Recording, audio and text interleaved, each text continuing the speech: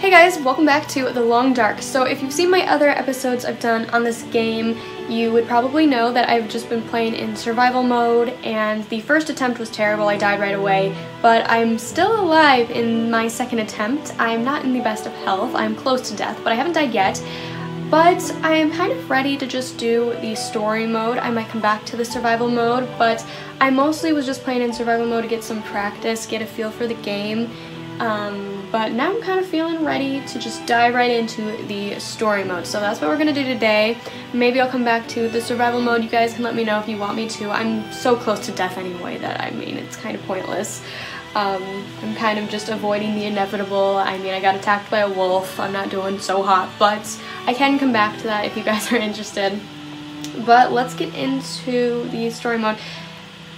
I think there's a new thing here. So there's Wintermute, then Winter's Embrace, the Summer, Survive, and even colder and harder, harsher edition of the Long Dark's Quiet Apocalypse. Okay, so I think that's like a a new newer version, but I think I'm gonna do the Wintermute, the authored episodic story mode. For, yes, we're gonna do that because that's the um, I think okay. Episode one, do not go gentle. Mackenzie and Dr. Greenwood are separated after their plane crashes deep in the northern Canadian wilderness. Struggling to survive, Mackenzie explores the small town of Milton, where he begins to understand the scope of this quiet apocalypse. Interesting, okay. I'm kind of scared. Okay, I'm ready. Capable survivor, green survivor. What's this? Easy for new players most interested in players with some experience. I technically have some experience. I played a little bit. Uh, I guess I'll go with capable. I usually play a normal. I never play an easy. I usually do the normal, so even though I probably should do easy. Oh my god, I'm nervous. I'm so nervous. I don't know why I'm nervous. Usually I play story mode first. But now that I've actually gotten in a little, this is a unique experience.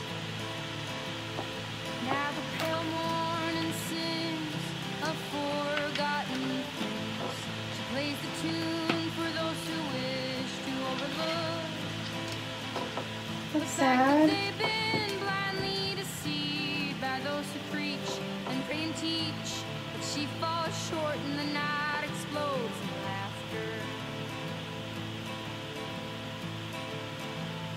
Don't you come here and say I didn't warn you. One's hurt. I think. Looked like it was limping.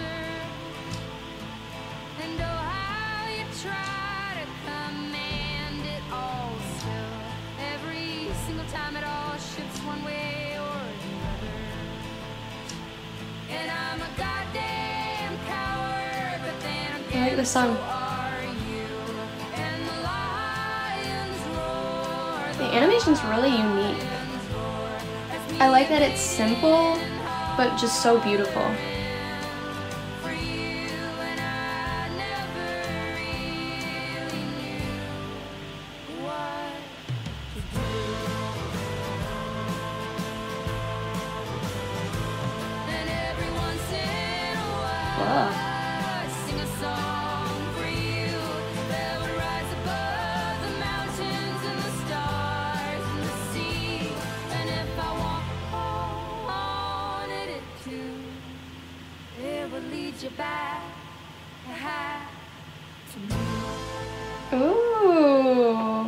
A really cool intro. I'm ready. I feel like I'm ready after that.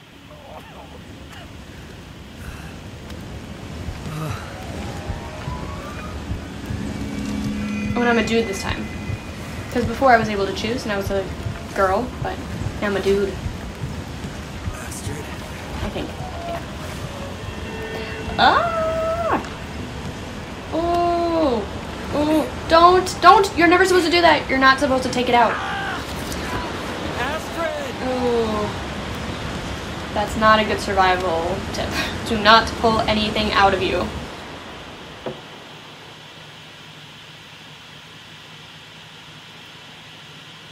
Twelve hours earlier.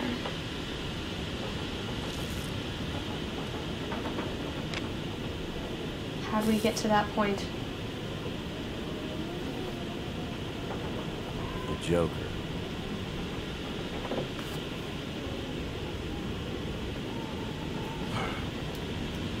Feels like another record cold snap on the way. I'd better get a fire going before the pipes freeze up again.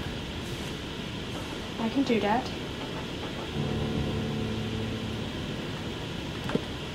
I'm kind of glad I played a little bit because now I know what it takes to make a fire. Or this would have taught me. Oh, I need one more thing. Oh, there we go. I think that's all I need.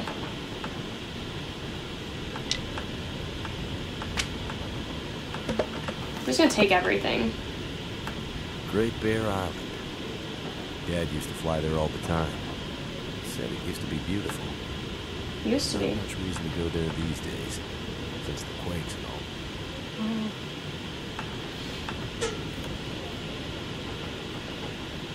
Oh, that's optional. Okay, I'm good.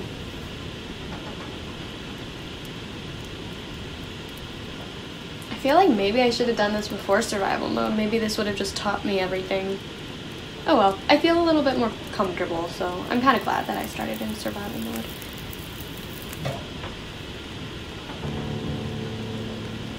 Explore the hangar.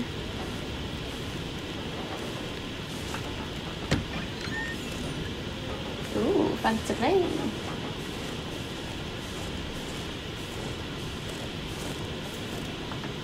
Well, here we are, old girl. Your best flights may be behind you. but You're still beautiful to me. And anyways, you're all I've got. I'd sure love to give you one last great adventure. Yeah, I have a feeling you're gonna get that.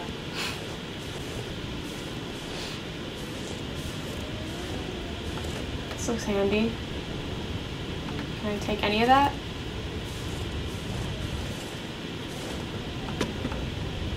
I feel like taking as much as I can might help me later on. So I'm kind of trying to take everything I can. Electric crap. Never works when you need it. You're so negative.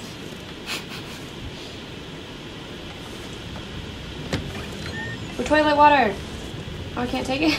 That's something I always do in survival mode is take the toilet water. That's right. Pipe up again.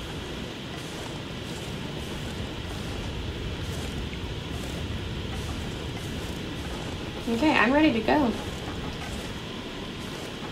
Can't leave yet? Oh, there was a door. Was I supposed to leave out that door? I think I tried to open it. Did I? Yeah. Seen all that I need to see. I don't remember needing my partner this early in the season. It seems to get colder every year. Getting pretty late in the day. Guess I could take a nap.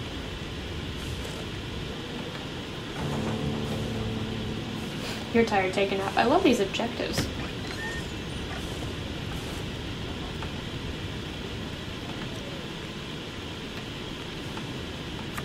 Those were better days. Man, what's happened to this guy? He's so negative.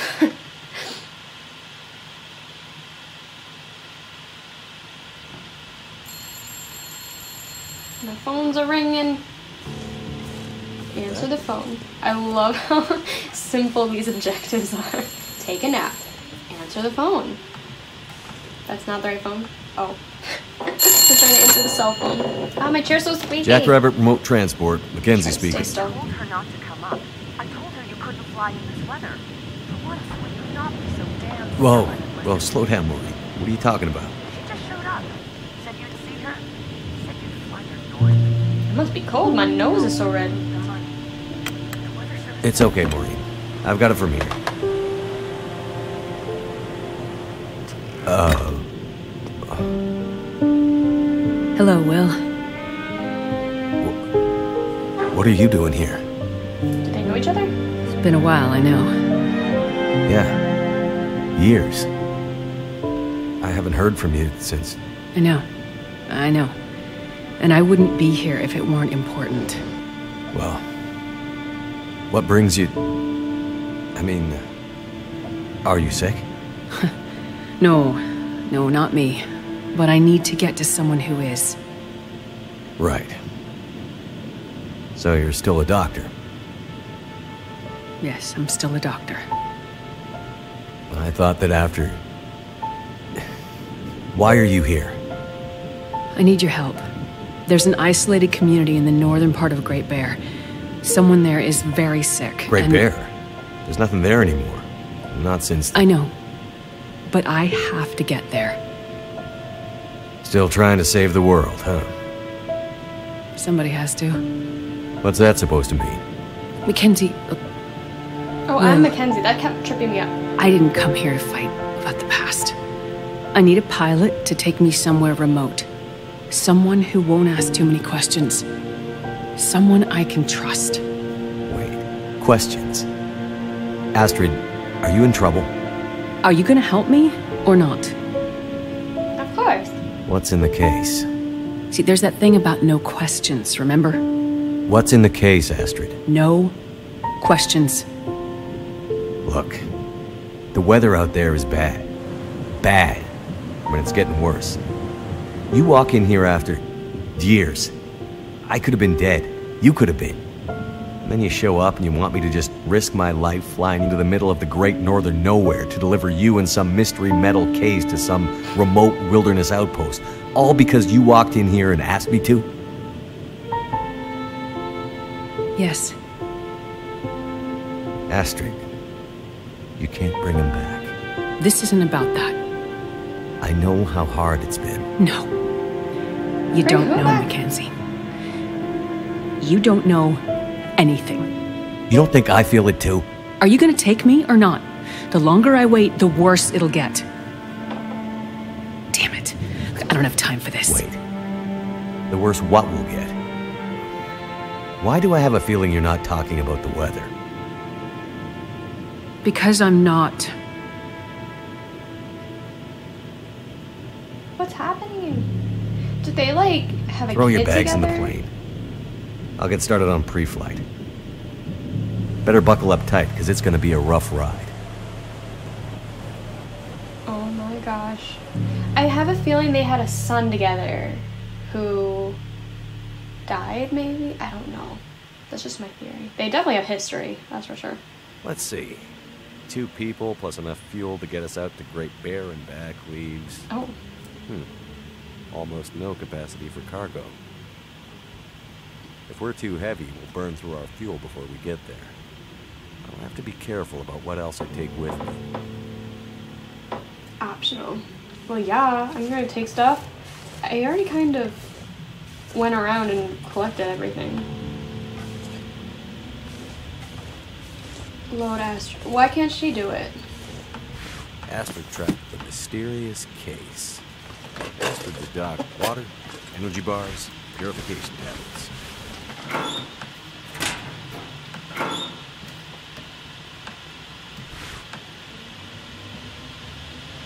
Okay, putting mm, Just need to grab my parka and we can our go. stuff in the hatch, and then we're ready to go. Put that in. Why can't I put that in? Okay, whatever. Ready to go. Grab your parka. Oh, I think it's down here. Grab it. Oh, we're ready to go.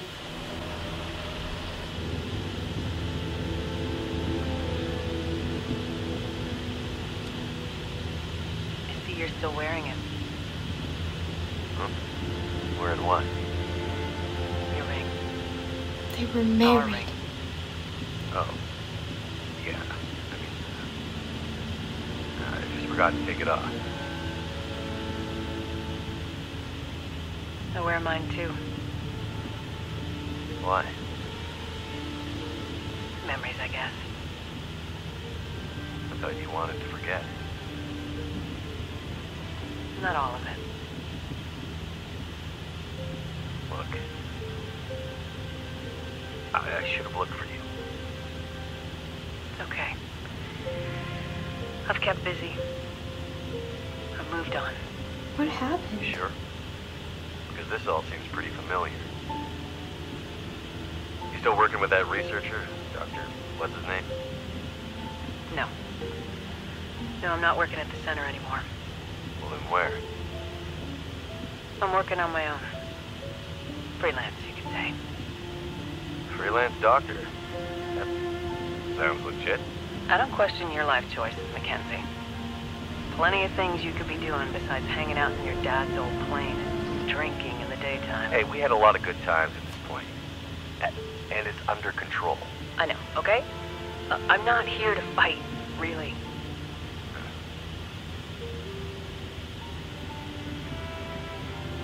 I think about him all the time, you know. I know you do. What I did.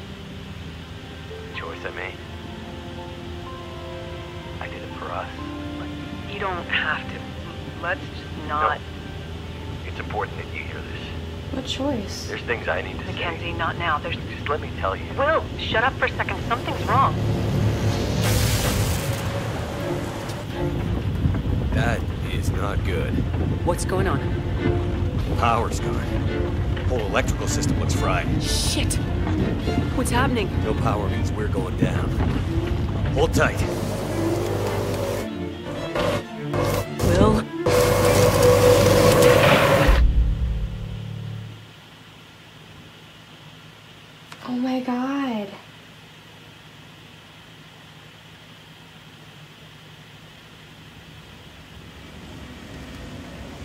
This is how it started. Oh my god.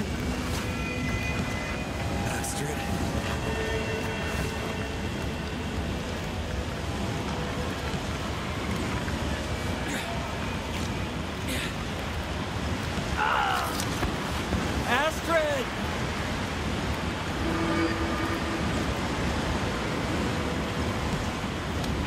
Must have gone right through the windshield. Where's Trace she? broke my fall. Oh, mostly. Oh my gosh, where's she? Oh, I forgot I can't jump. I'm so used to jumping. Use first aid to stop the blood loss. Gotta stop that bleeding. Where is it? I think it's in my inventory.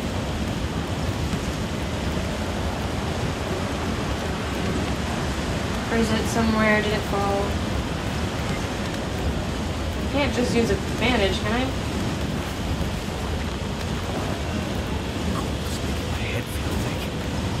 Healed blood loss. Okay. Try to climb out of the ravine. Well, that's gonna be interesting. Uh, okay. Um, kind of decide which way to go. Well, that's probably not a good idea. Damn, it smarts. Crap, I don't know which way to go.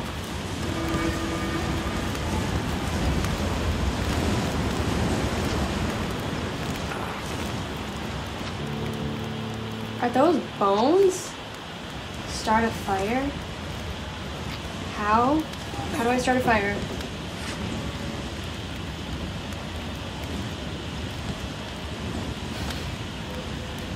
Okay, I started a fire. I never started a fire on its own. I just used my matches to get around and then. How did it say to do it? What did it say to do? Oh, start a fire. Try to climb out. Use first. Oh, I did the use the first aid. I haven't climbed out of the ravine. Start a fire. How?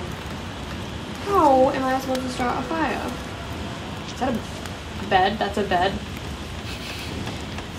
Bandage wound and warm up immediate. Okay. How do I start a fire?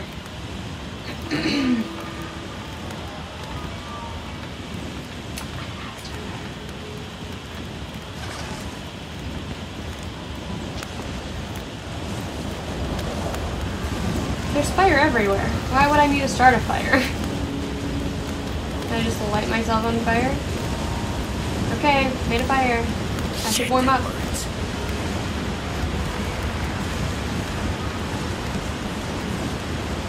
Oh, crap. Hurts.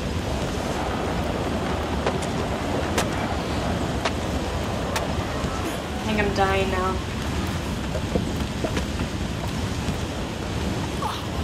That hurts so much. Feels Made it out of the ravine. you died from mass. okay, I think I'm gonna leave this here because I got a good start. Uh, this game is really hard, like it's no joke. Um, if you get caught on fire, you're dead. If you fall off a cliff, you're dead. Some games you're not, you know, and in this game you are. Like it's very realistic. um, but I died anyway, so um, I'll come back to I think um, when I first arrived after the plane crash, and that was chapter two.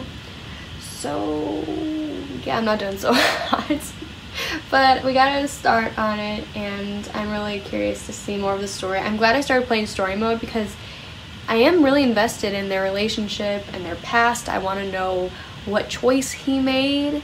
I think I'm guessing it's their son they're talking about, I'm not sure. But I'm interested in finding out more about their story and seeing what happens. This game is no joke though, this is hard. I think this is even harder than survival mode almost, but I'm really excited to keep playing. So I hope you guys enjoy this episode of The Long Dark, and I will see you in my next video. Bye!